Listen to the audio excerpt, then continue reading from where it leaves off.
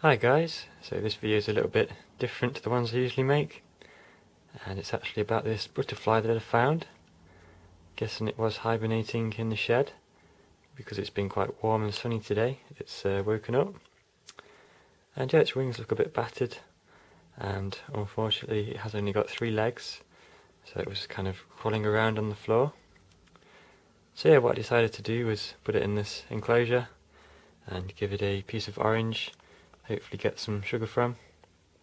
And yeah, I've been looking on the internet about what to do with it.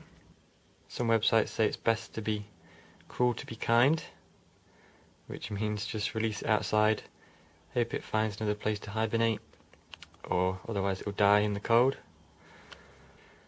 Other websites say to uh, try and force it to hibernate, so uh, put it in a cool place and it should shut down again and then wake up in spring. But yeah, I've decided to try and feed this guy and then I will be putting him back into the shed inside this enclosure just to keep him safe. Don't want someone to step on him by accident. So yeah, we'll see how he gets on. Looks like he's just warming up in the sun a bit there.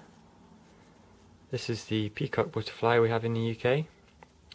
The adults do hibernate over winter and then mate in spring and lay eggs and the cycle starts over again. So yeah, as you can see they're very attractive looking species and hopefully this guy will make it through the rest of winter and I can release him in spring. As you can see his wings are looking slightly battered so I'm not actually sure if he will be able to fly but I will try and release him in spring if he makes it that far. So yeah, I thought it'd be a pretty interesting video for you something a bit different. Not used to seeing butterflies at this time of year, so uh, thought it'd be pretty interesting. Okay then guys, thanks for watching, and I shall see you again soon.